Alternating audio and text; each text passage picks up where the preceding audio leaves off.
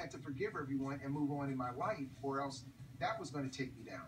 You have to leave that go. You can't you can't carry that baggage. And my life has moved on. It's great. I mean, I get up every day just saying, "Are you kidding me? Look at the life I've lived." I focus on now and the future.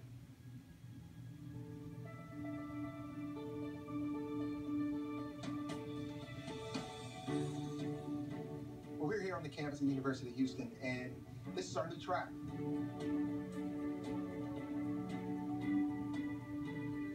They just they just made it this year and uh, resurfaced it. We're excited about it. And all the activity that we do for track and field happens here. This is our athletic alumni hall. This is the statue that, that they made of me for me to be a track athlete right here in the, the athletic hall of honor was a big honor. It's the four gold medals from Los Angeles, and they were actually there. I took them with me to, to get the full bodies again. Well, you know, it's interesting. Um, since I retired, I've been a Nike ambassador. I'm still a UN ambassador. And my youth track club, CL Stars, has grown. Come on, Ricky, finish it out, finish it out. Come on, finish it. Stay tall, stay tall. Yes, I'm going to Rio, and I'm going to have a billion hats. I'm going to do a roundtable every night for Brazilian television, which is going to be a lot of fun. All right, okay, all right, good job. I love to garden. I love to eat the plants and vegetables that I grow. I moved to Houston. I, I bought a an old home, a 1936 home that I'm in the process of a long-term modeling.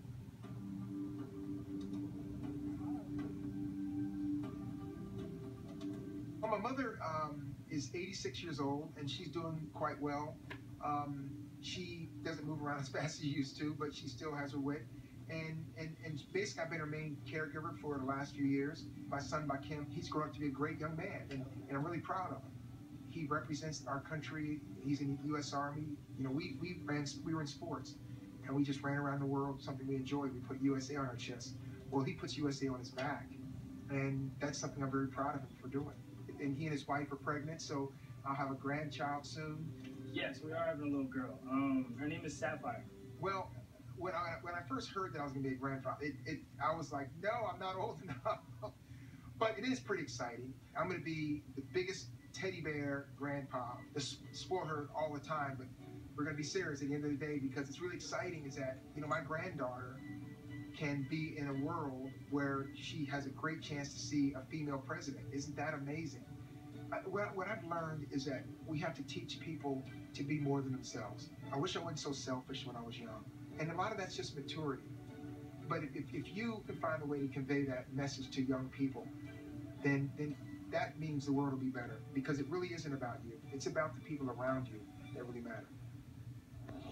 Coming up, they